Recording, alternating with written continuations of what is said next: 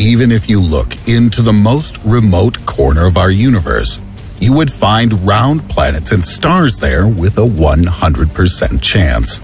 In this universe, it's simply impossible to do otherwise. Gravity tends to shape everything in space, turning the mass of a planet into a ball. But this is only in our universe. According to the multiverse theory, there are many other universes in which completely different laws of physics, unknown to us, operate. This means that the shape of the planets can also be different. A cube, a cone, a cylinder, a donut, whatever. What if in one of the parallel universes our Earth exists, but in the form of a cube?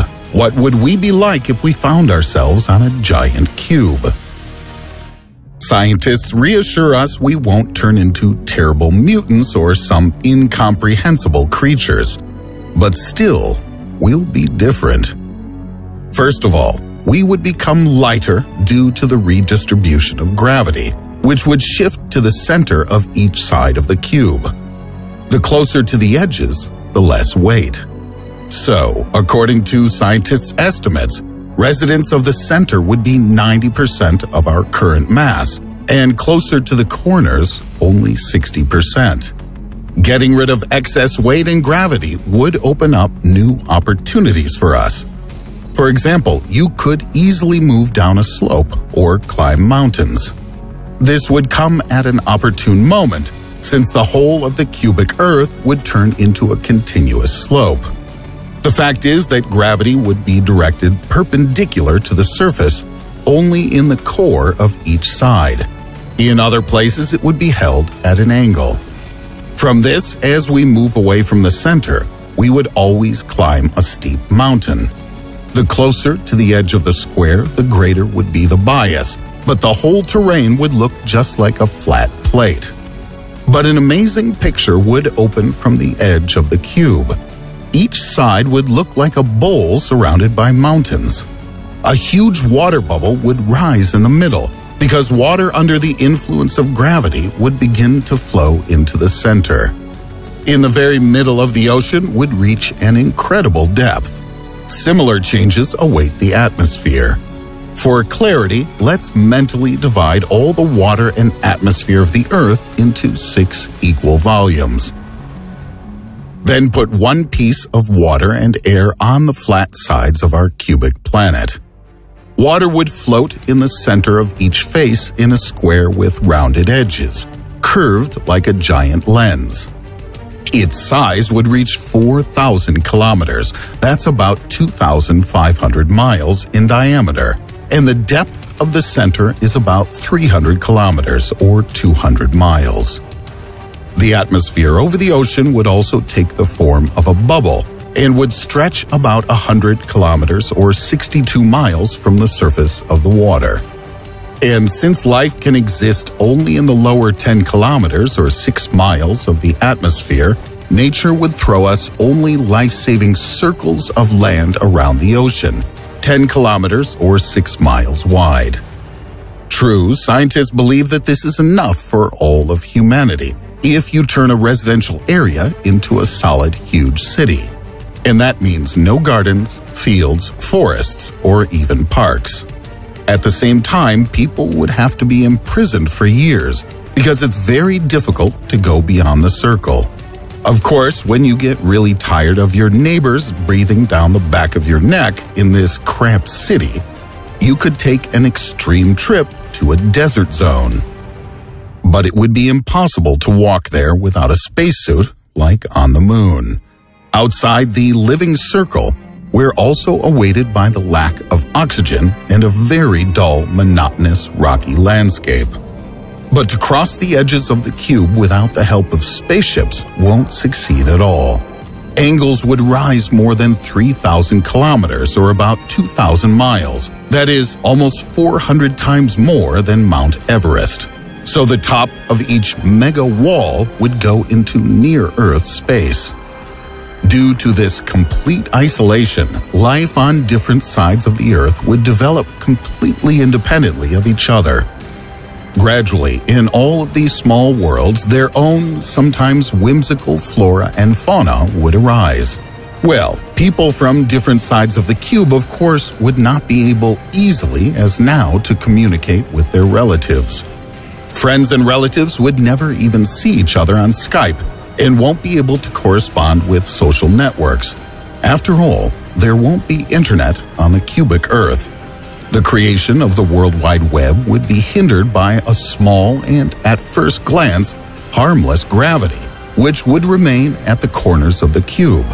However, because of this, the orbital satellites won't be able to fly close to the edges without colliding with them.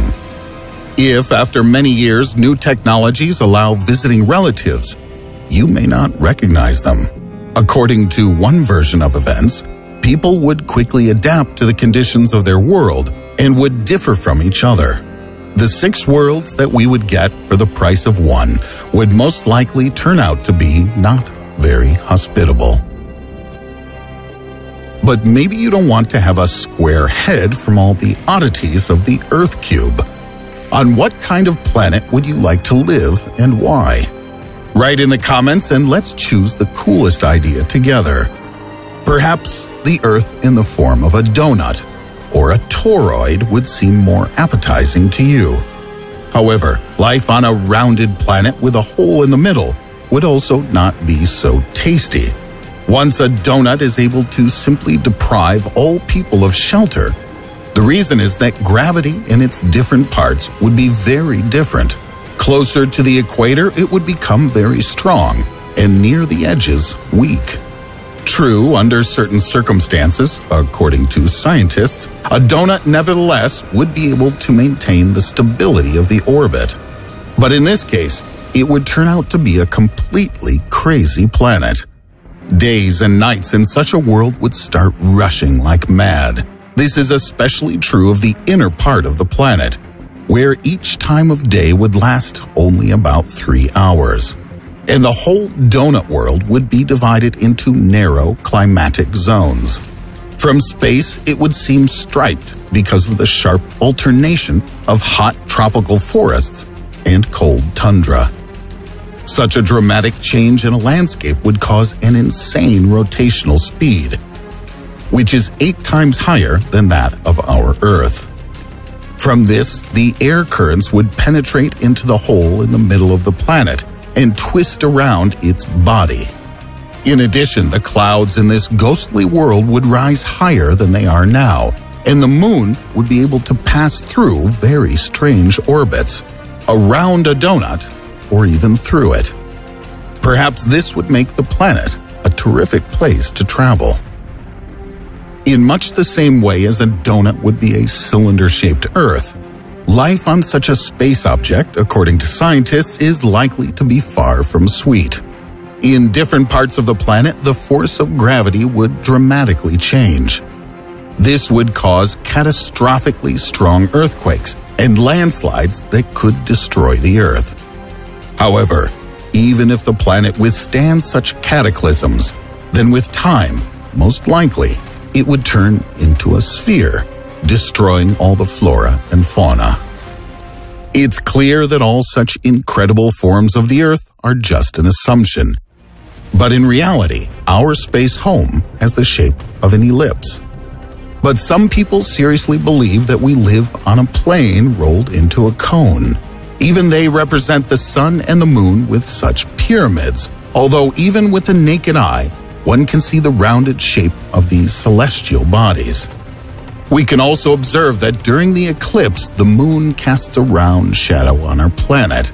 However, supporters of the cone still insist on being believed, since their own eyes lie, distorting the world. According to cone lovers, astronauts and pilots who saw the Earth ellipse from above are also lying. Apparently, everyone has just entered into some kind of conspiracy to change our view on the form of our home planet. And the space images that capture the elliptical shape of the Earth are also fake conspirators. It's just not clear for what purpose such a global intrigue was started and what evidence of a global conspiracy exists. There are also supporters of the theory of a hollow Earth. However, experiments showed that in this case, its outer shell would immediately collapse into the inner one. But even if, for some reason, this didn't happen, due to the lack of gravity, we would immediately be blown away from the dummy planet into space. Yes, along with the oceans and atmosphere. Somehow, after that, I wasn't attracted to changing the shape of the planet, but it was still cool to imagine the Earth as a cool, zingy transformer. If it was the same for you, quickly give us a thumbs up.